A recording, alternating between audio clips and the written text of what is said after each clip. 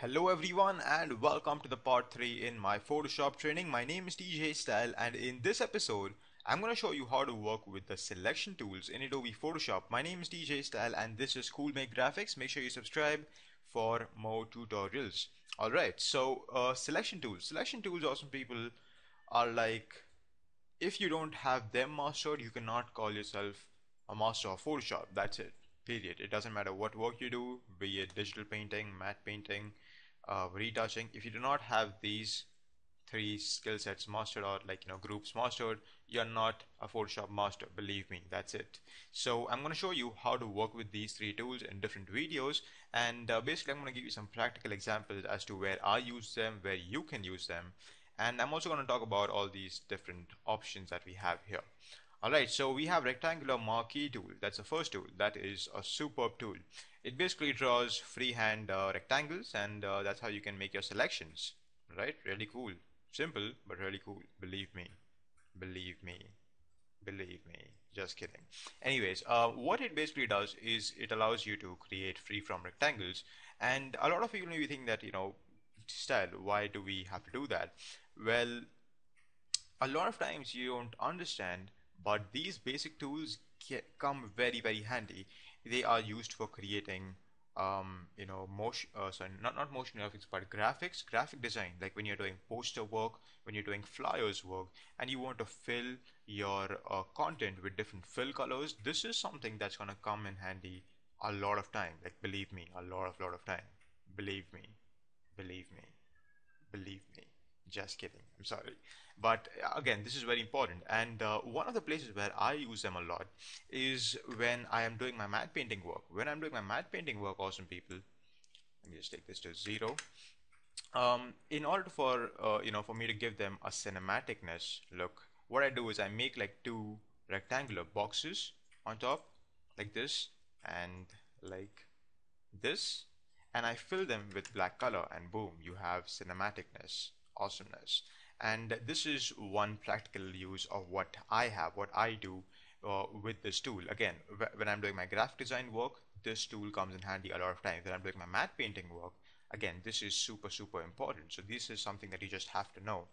Uh, on top awesome people there are some different options. And these four are very very important for you to understand of how they work and uh, you know that kind of stuff. So basically the first option here is basically saying new selection. You're going to draw a new selection. Okay, that's it. That's simple.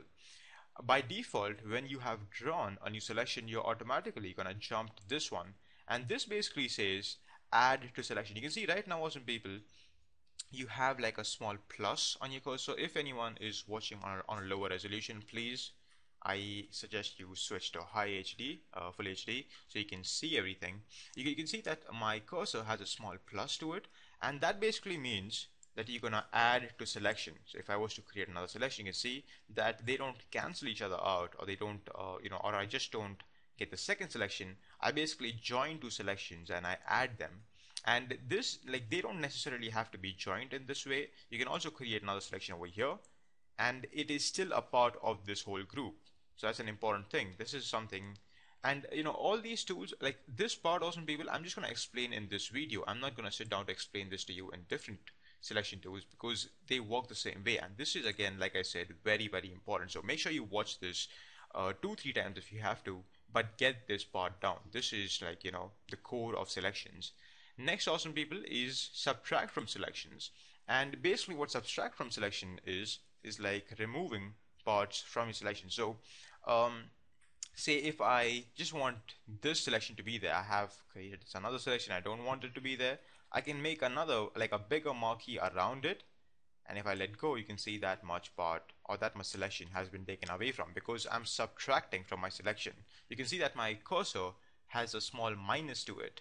That's really good. And next awesome people we have intersect. So click on this.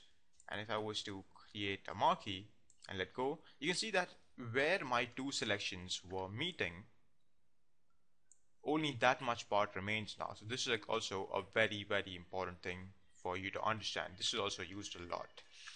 All right. So this is important um so yeah this is where all these different things are used. Um a big and a very practical use of these two things like most of the times you won't be using the first and the fourth. You'll just be using second and third and uh, basically awesome people it's a lot easier at times for making an extra selection and then just removing small parts of it. And sometimes it's the other way around. Sometimes um, you know it's difficult to select what you want. So you make a small selection and then you can you know add stuff to it right? Using this option.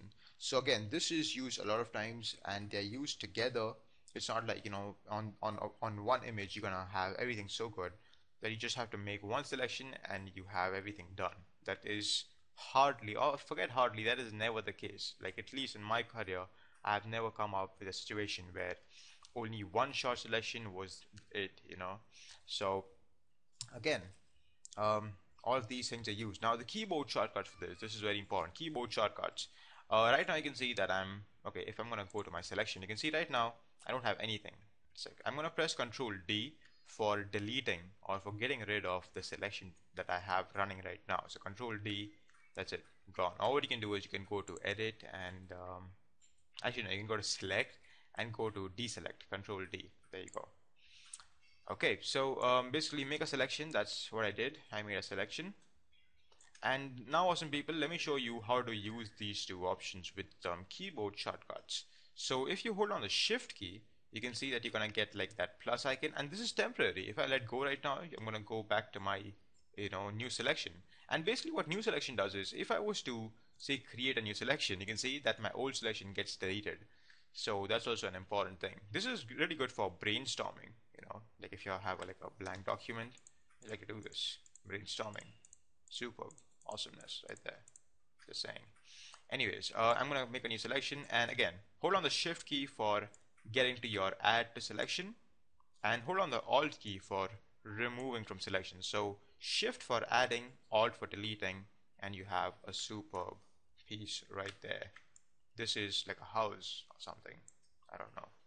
If I was like tilt it maybe it is.